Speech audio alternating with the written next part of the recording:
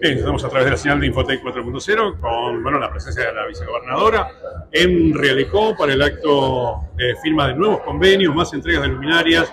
¿Cómo le va? Buenos días.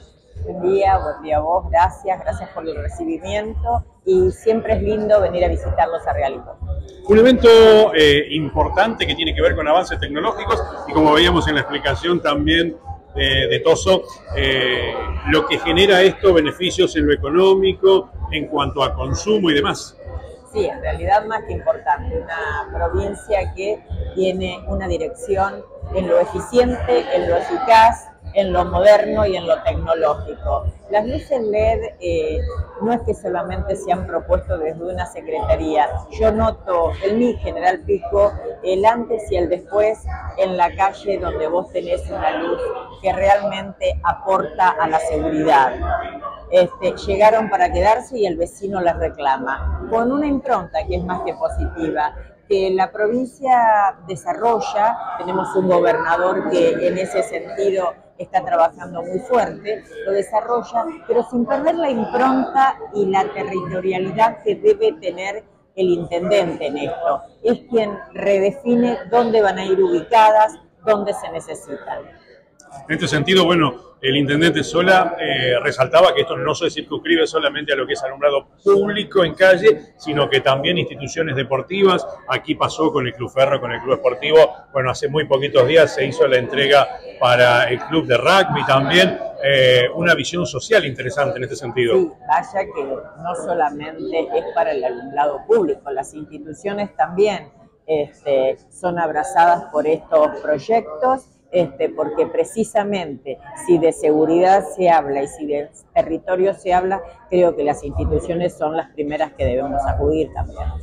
Vicegobernadora, bueno, eh, a ver, un poquito en líneas generales, ¿cómo, cómo están llevando este 2024 que se está terminando? Eh, desde el gobierno provincial, ustedes están recorriendo permanentemente la provincia, son conocedores de, las situaciones, ¿no? una situación este, que se ha planteado también eh, compleja con el gobierno nacional que ahora parece irse encaminando. Sí, no sé respecto a qué eh, se estará encaminando. Nosotros estamos trabajando en un 2024 desde la Cámara con mucha fortaleza, con mucho debate, obviamente. Siempre supimos que el escenario político iba a ser ese. Hoy estamos abocados netamente al presupuesto que tomó Estado Legislativo el jueves pasado y que mañana ya comienza a ser tratado en comisión este, para un dictamen. Seguramente se nos vienen días de arduo, de arduo trabajo. Uno de los temas, usted habla justamente del presupuesto, ¿no? Eh, en lo que concierne a Realicó, una de las obras que, bueno, o un par de obras a menos no se han podido llevar adelante y que estaban en el presupuesto 2024 es la repavimentación del aeródromo público, que es municipal, eh, y también, eh, bueno, había un edificio para el Centro Provincial de Formación Profesional, que, bueno, estas obras eh, quedan eh, en stand-by? ¿Es posible que se puedan retomar más adelante? ¿Qué, se espera de esto?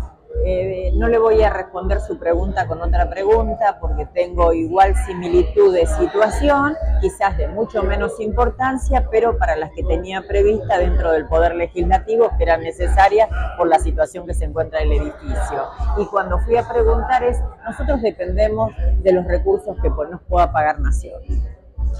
Es un, porque es un, como lo definió el gobernador Silioto, es netamente estrecho el presupuesto. Si nosotros cobramos va a derramar en obra seguramente, pero necesitamos ir a cobrar lo que Nación nos debe. ¿Existe alguna posibilidad de que se destrabe esta situación con el gobierno nacional en el corto plazo? En mi casa se decía un refrán, las esperanzas son lo último que se pierde, yo tampoco las voy a perder. Ojalá que así sea. Muchísimas gracias. No, a ustedes.